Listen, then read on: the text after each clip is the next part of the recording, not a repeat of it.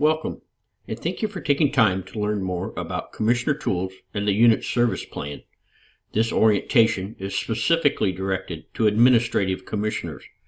We will discuss where the Commissioner Administration drop-down is found, how to assign commissioners to units, and the information found on the Commissioner's dashboard. As you log into my.scouting.org, this is the landing page you will see. Administrative commissioners have access to an additional feature called Commissioners Administration. This feature allows administrative commissioners to associate unit commissioners to specific units, as well as to monitor their unit contacts. To enter the Commissioners Administration area, click on the Home icon and select the Commissioners Administration tab. Drill down through the districts and sub-district levels to find the units in your district that you want to work with. In order to assign a commissioner to units in multiple districts, the administrative commissioner making the assignments will need to have access to the involved districts. You will find a screen that shows the list of units in your district and the registered commissioners in your district.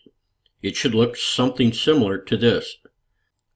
Once here, you can assign a commissioner to a unit.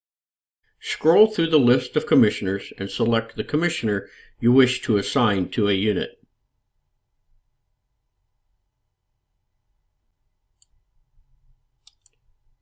Once you have chosen a commissioner, this screen will appear. Let's first review other information found on this dashboard.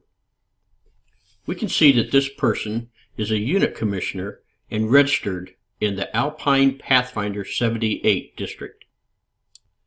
When you are ready to assign a unit, click the Assign Unit button. Drill down to find the unit you wish to assign to the selected commissioner. Select that unit, and then click Assign Unit. The commissioner is now assigned to this selected unit. You can assign units to multiple commissioners by simply selecting a new commissioner and repeating the process. You are returned to the screen for the selected commissioner. You, scrolling down, you can now see the unit you just assigned on the commissioner's dashboard. If you want to assign another unit, just repeat this process with the additional units. To unassign a commissioner from a unit, locate the commissioner you wish to unassign and select them. Once at the screen showing the commissioner and their units, locate the unit, scrolling down, and select the Unassign button. You are asked to confirm that you want to unassign this unit from the commissioner.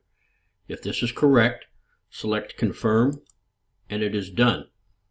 Their dashboard is updated to reflect that the unit is no longer assigned to them. To view more information about a commissioner, click the Contacts tab, where you will see how many contacts this commissioner has made over the last four months. You will also see how many units are assigned to the commissioner. If you scroll down, you can see the specific contacts the commissioner has made. When you have finished with the selected commissioner, select the Back to Commissioner List button to return to the list of commissioners and units. This concludes our orientation on the Commissioner Administration tab.